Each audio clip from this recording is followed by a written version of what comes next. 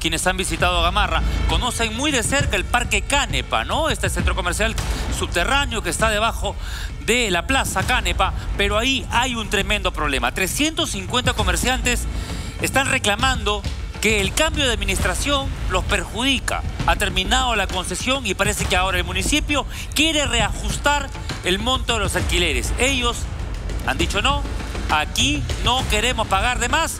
Vamos a ir rápidamente a ver la nota de Jorge Solari porque los comerciantes podrían perderlo todo. Eso es lo que dicen. Vemos la nota.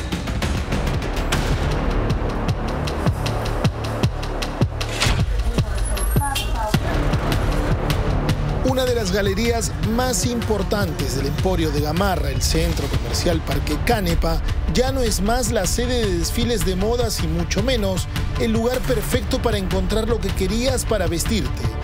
Desde hace varios días, sus ingresos lucen cerrados y resguardados con agentes de serenazgo de la Victoria. La razón.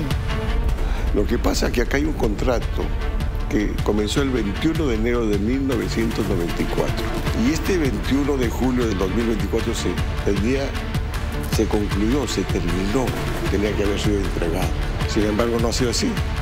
El 21 de mayo me sorprenden con una cautelar, o sea, la mala fe de no devolver las cosas. Y desde ahí comienzan los, los problemas problemas que han dejado sin trabajo momentáneamente a más de 350 emprendedores y que tienen detenida su mercadería desde antes de fiestas patrias.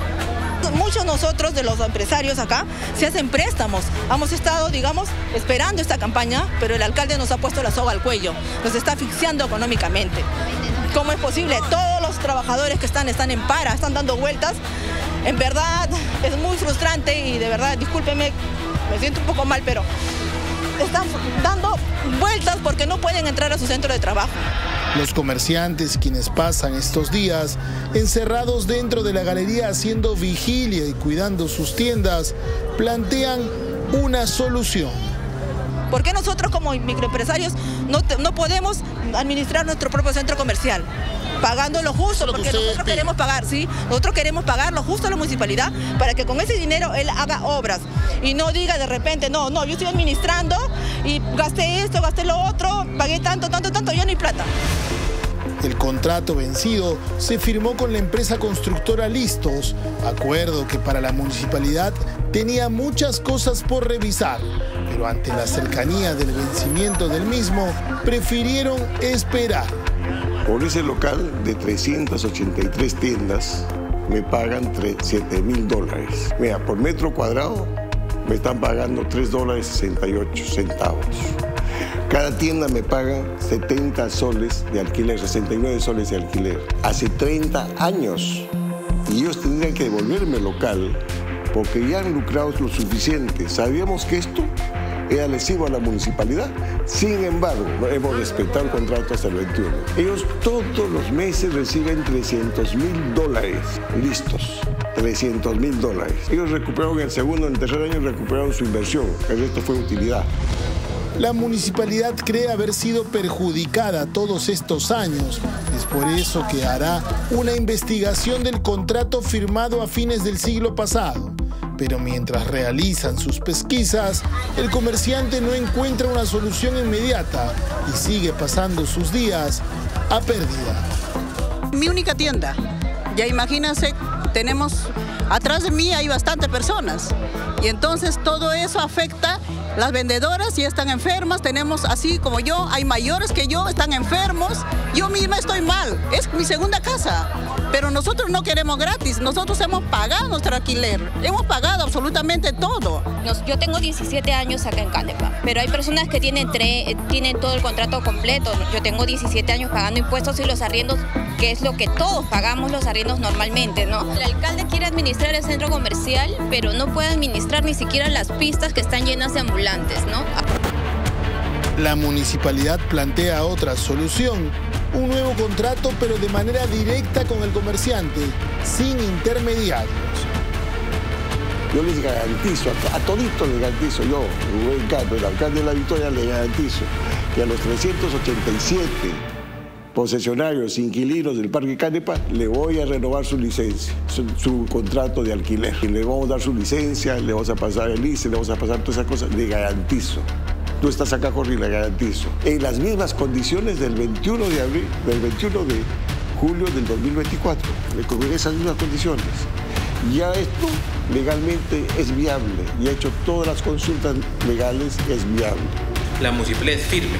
No le vamos a renovar el contrato a listos, se acabó la concesión, vamos a administrar directamente y nosotros vamos a iniciar una relación comercial, una relación contractual con cada uno de esos 385 locatarios. La promesa está hecha, solo queda saber si los comerciantes quienes han presentado varias medidas cautelares y hasta habeas corpus están conformes con la oferta de la municipalidad. Uf, bueno, ahí estaba el reportaje de Jorge, ha recogido todas las versiones, ha tenido los comerciantes y ha buscado también a la voz municipal. Hemos escuchado ahí el representante que dice, no, se acabó la concesión la concesión iba desde el 21 de julio del año 94, si no me equivoco. Entonces ya tienen todos los eh, empresarios, las personas que tienen ahí sus tiendas, más de un mes sin poder vender, sin poder ganar, perdiendo dinero. Como dice la señora, es su segunda casa. Ya, ya han presentado bastantes medidas cautelares, pero yo creo que si es que eh, la Municipalidad de Lima quiere hacer el trato directo con los eh, comerciantes, ¿no? con los vendedores, pues tiene que darle alternativas mejores a las que tuvieron cuando tenían contrato con la empresa listos, ¿no? Creo yo.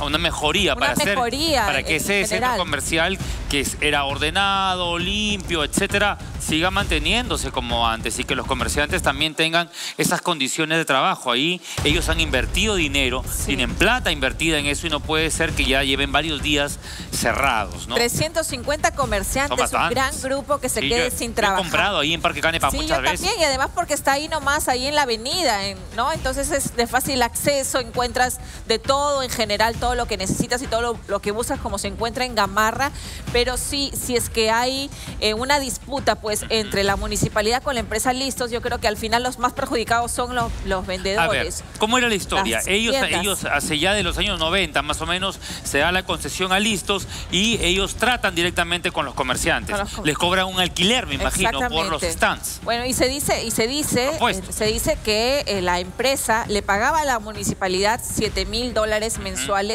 pero que el ingreso no es superior mensualmente, no muy, mucho más. Entonces ahí se inició la controversia de que había una ganancia superior y que la municipalidad estaba recibiendo poco dinero, ¿no? O sea, y quieren reajustar. quieren, reajustar y quieren usar ese dinero para limpieza, seguridad, para temas de salud, porque dice que tienen un déficit económico la municipalidad y que necesitan de alguna manera recuperar con esto, pero ¿Cuál es la solución y cuáles son las alternativas que le van a dar a los vendedores? ¿Y qué pasa también en el, resto de Gamarra? ¿no? Porque el Parque Canepa está enclavado ahí en una parte importante del emporio comercial, pero también siempre escuchamos voces del resto de comerciantes ¿no? que vuelven a, decir de vez en cuando que hay problemas con las zonas de acceso, que nuevamente los ambulantes, a pesar de los esfuerzos que puedan haber para el retiro del comercio ambulatorio, Gamarra merece mucho más. Mucho. A mí me encanta ir a Gamarra, me encanta porque encuentro de todo, amo comprar mis telas para hacerme mis